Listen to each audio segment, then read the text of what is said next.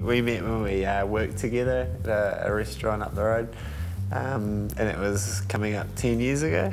I teased him relentlessly for a long time um, in the kitchen. Yeah, I was in the kitchen, I was the sous chef, and, and Jules worked out the front. There's Andy and Jules, the husband and wife, but there's Andy and Jules, the chef and the waitress.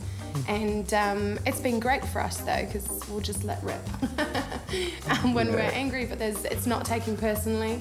It's um, we never take anything Yeah. home, and I think that's why we're successful. The reason we chose a beef bourguignon is it's a really popular dish. Nice classical flavours, tastes great.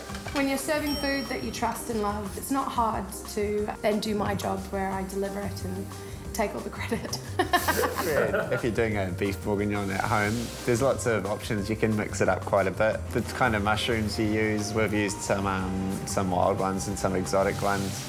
Um, but you can just use button mushrooms, portobello mushrooms, whatever. We've done a braised beef cheek. It's a bit of a different cut. Really, really tender once it's cooked properly. You don't even really need a knife to eat it. You can Yeah. just put your fork in and it will just break apart. Yeah. Beautiful. Uh, but there's also options to do braised steak or whatever you like, really, there.